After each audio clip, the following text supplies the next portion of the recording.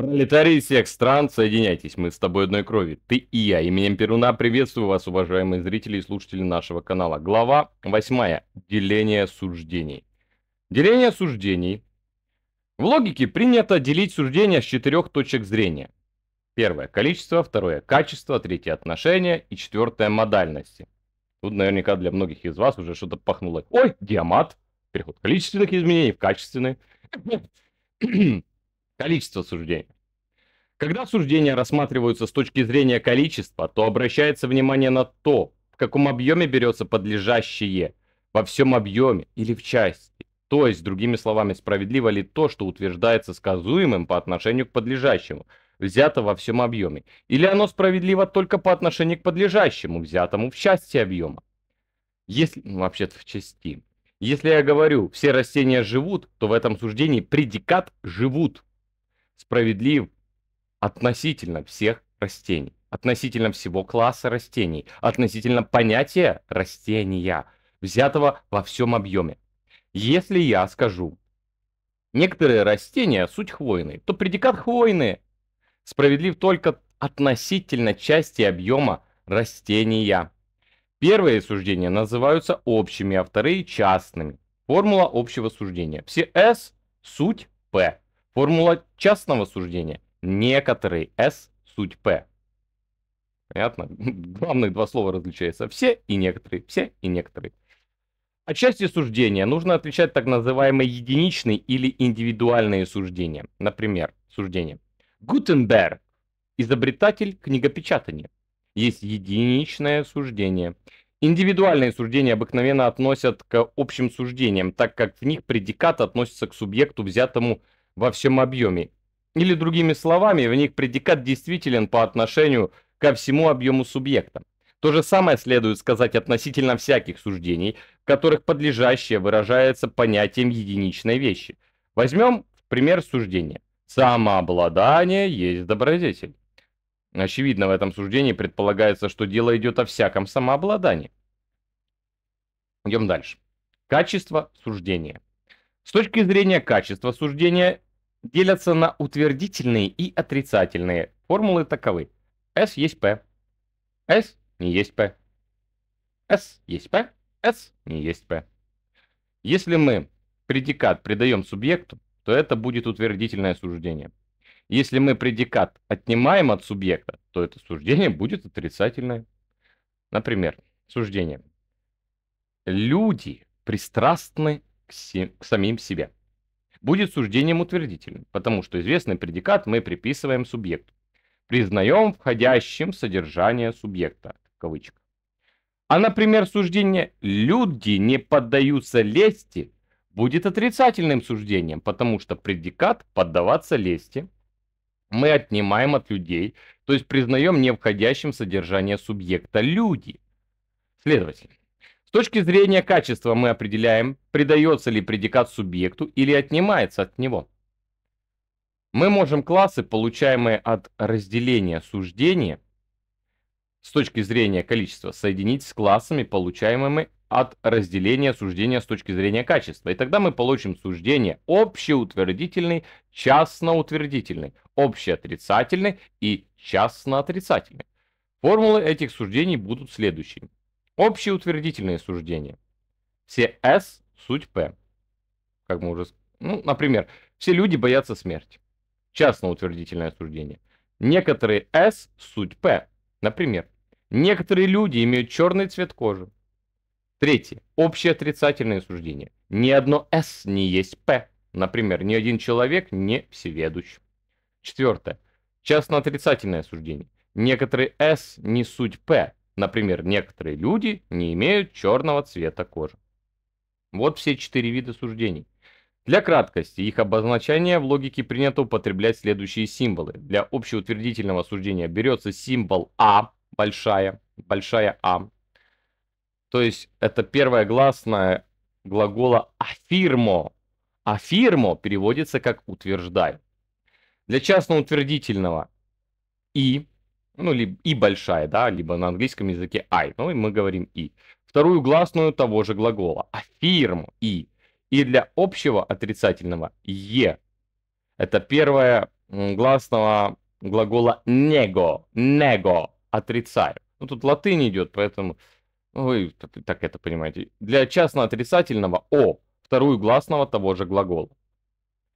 А большая, И большая, Е большая, О большая. Афирмо утверждаю, нега отрицаю. Таким образом, символы суждений мы можем обозначить при помощи следующей таблицы. А большая, все S, суть P. И большая, некоторые S, суть P. То есть S большая, суть P большая. Е, ни одно S большое не есть P большое. О, некоторые S большие не суть P большие. То есть везде, где я говорил S и P, это все большие буквы.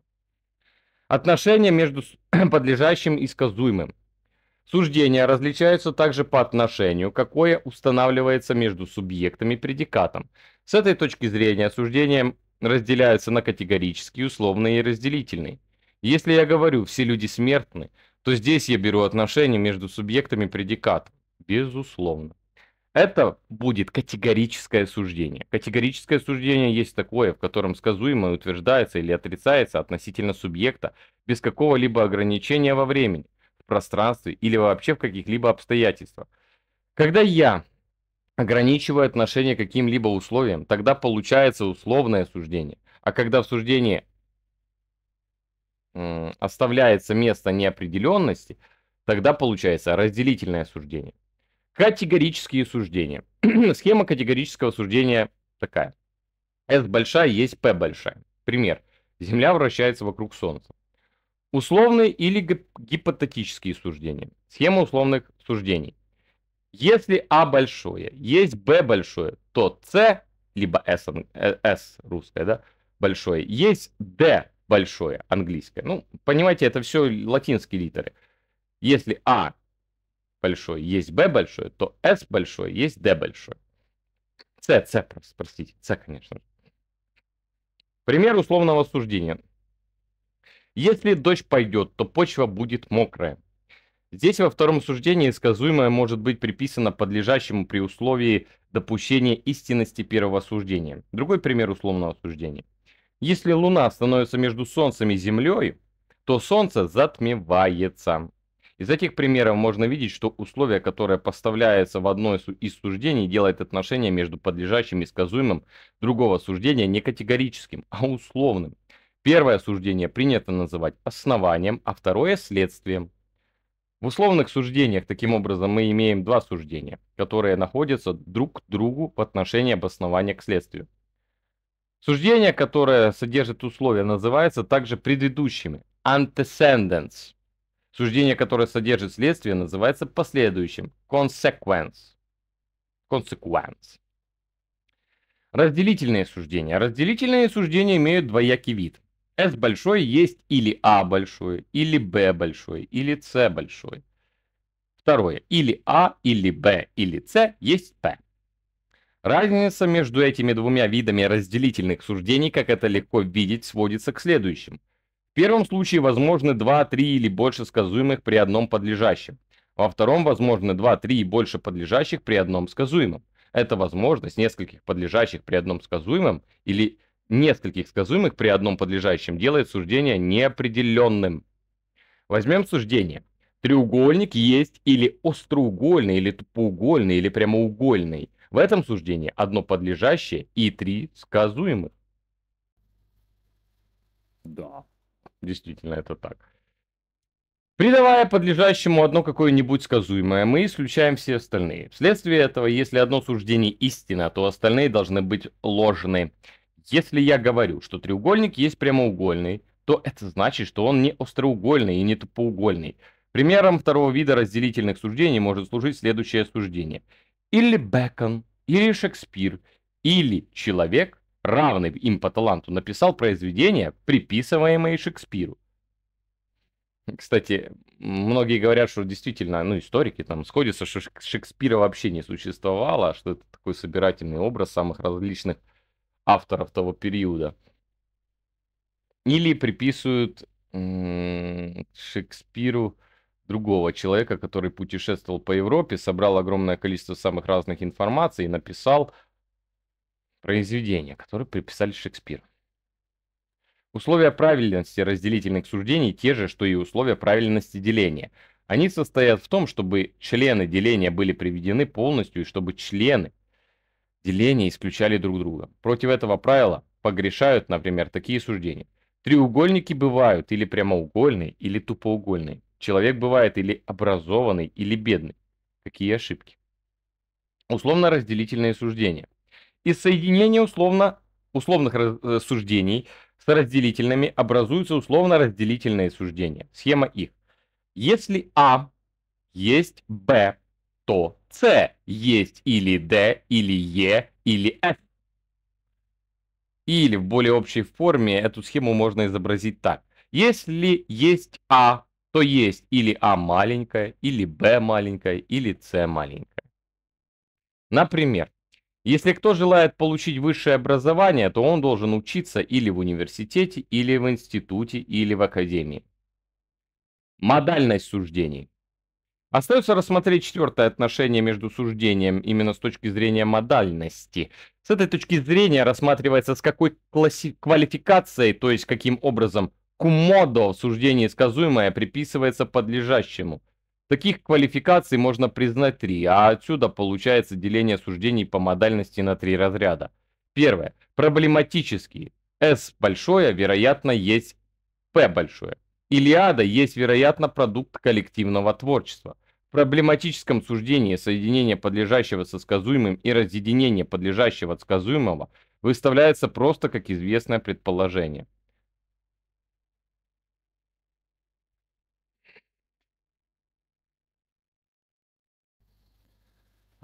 Так, второе. Проблематически разобрали. Теперь ассерторические. Тут две S. Ассерторические.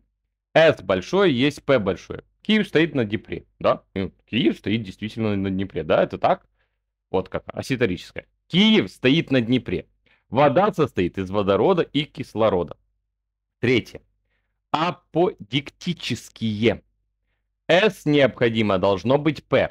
Например, Две прямые линии не могут замыкать пространство. Анализируя приведенные примеры, мы видим, что проблематическое суждение характеризуется некоторым ограничением связи между подлежащим и сказуемым.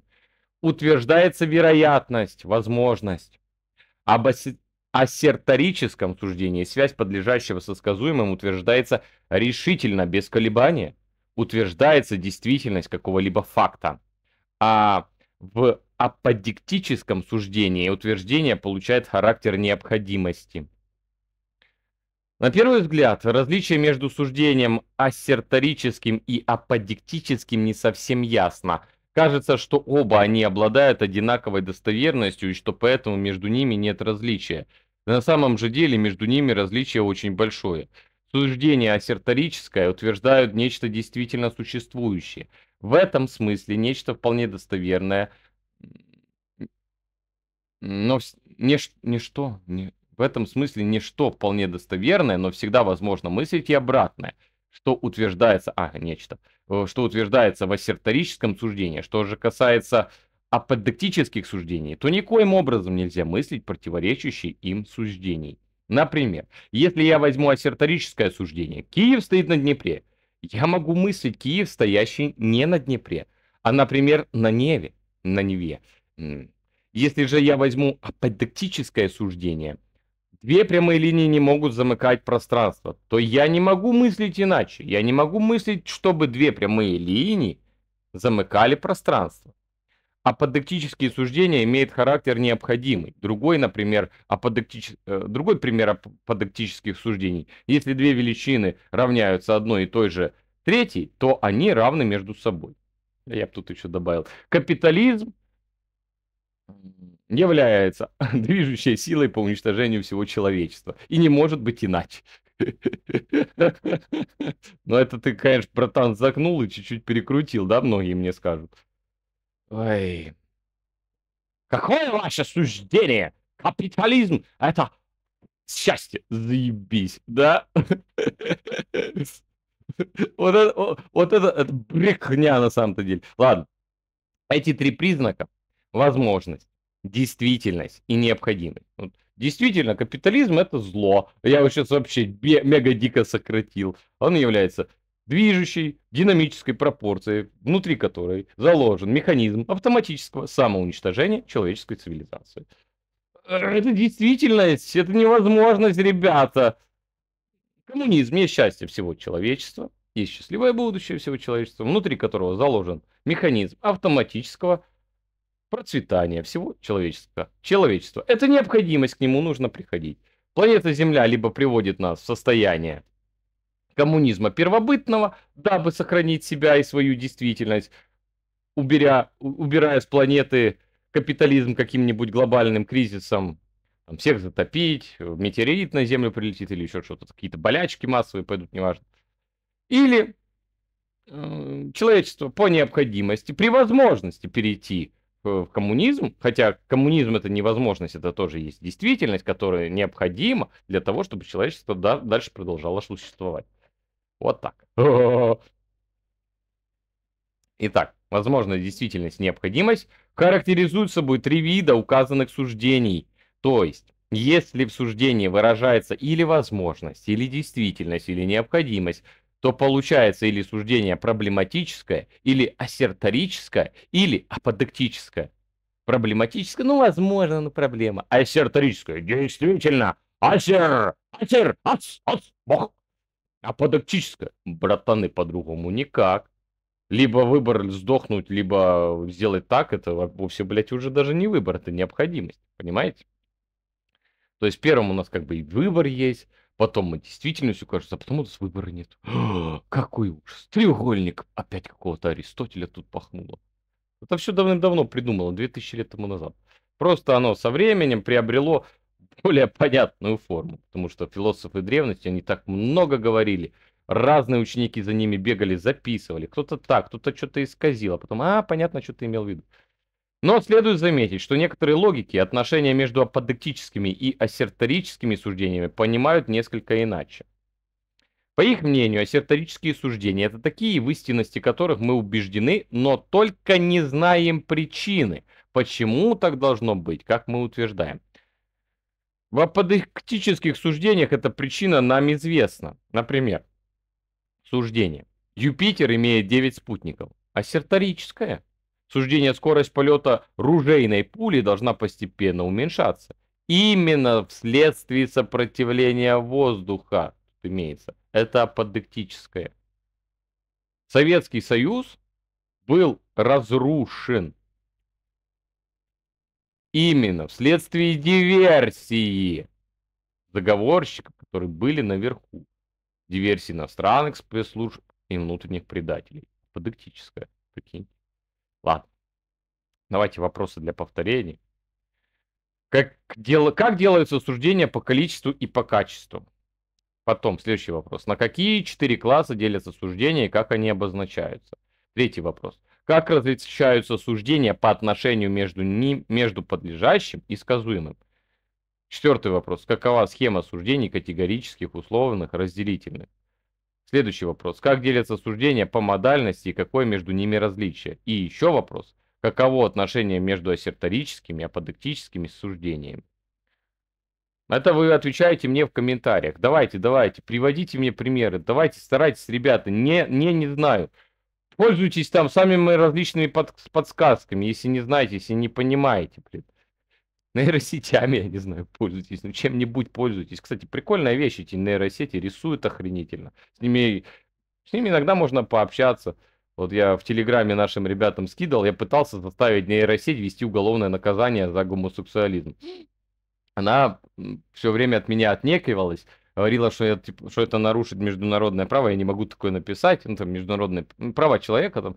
А, а потом напиши, говорю, ну мне для страны нужно. Говорит, нет, не все. Говорит, ну тогда пишешь, типа, по моему мнению, на ваш взгляд. Я говорю, блядь, подожди, не на мой взгляд. Напиши закон с учетом международных прав, там, та-та-та, обязанностей человека трудиться ради друг друга. А, кстати, производство человека человеком, ну, чтобы человек появился на планете Земля, это тоже труд. Это очень тяжелый труд. И если у нас э, так много, ну, немного пропаганды гомосексуализма, и вообще гомосексуализм, он с каждым годом все распространеннее, и лесбиянство тоже – Извините меня. Извините, ребята. у нас, значит, проблемы в экономике, у нас, значит, проблемы в политике. Но, допустим, когда мы устраняем проблемы в экономике, мы постепенно и затрагиваем элементы, связанные с культурным воспитанием. Гомосексуализм это беда, это там проблемы и так далее. Ну, разные моменты приводятся, а он не может мне это написать, нейросеть. Пишет, по вашему мнению, там, по, на ваш взгляд. Я такой, блин, прикольно. Прикольно, здорово. Не буду пиарить, какая нейросеть, но неважно. То есть заложены в ней, оказывается, какие-то цензурные, прокапиталистические, тоталитарные идейки. Но я думаю, что это как бы такое. Я проверял различные марксистские какие-то у них точки зрения есть. Я вам так скажу, ну, худо-бедно, неплохо, но не до конца там развивается марксистская точка зрения, как будто что-то обрезано. Вот знаете, то телеология, вот как-то ее вырубили, вот вырубили где-то в 50-х годах телеологию, то есть науку о целеположной деятельности, диалектика целеположной деятельности. А ведь социальная форма движения материи это и есть телеология, она же теория заговора.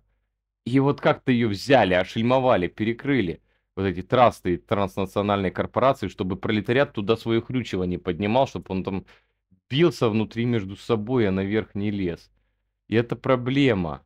Но они, они-то правильно, ну, понимаете, вот если ты, ты, блин, наверху сидишь, ты абстрагированный, ты мега сволочь, что ты, Кощей поганый, будешь делать? Я лишу тебя цели твоего существования. И, твоя, и за жизнь ты должен прийти к ней. А цель только одна, единственная, наверное. Не, понимаете, нету никаких другой, ну, Главная цель существования. Вот нету никакой другой цели к существованию человека, кроме одной. Это счастье. Но счастье носит коллективный характер. Невозможно счастье одного, только как через счастье каждого. Каждого, всех на земле людей. У нас интернет, нам информация, мы видим, там голод, там взрывы, там война. Они что, счастливы там люди? Нет. Там эксплуатация, там скрытая эксплуатация, там социальное убийство. Убийство скрытое, коварное, которое не носит характера убийства. Потому что убийцы это все и никто. И это есть капитализм. Понимаете? Это ужасно, то, что происходит. Вот я не могу быть счастлив. Вокруг меня столько несчастных людей. 8 миллиардов, даже больше. Благодарю всех за внимание. Сила в пролетарской правде.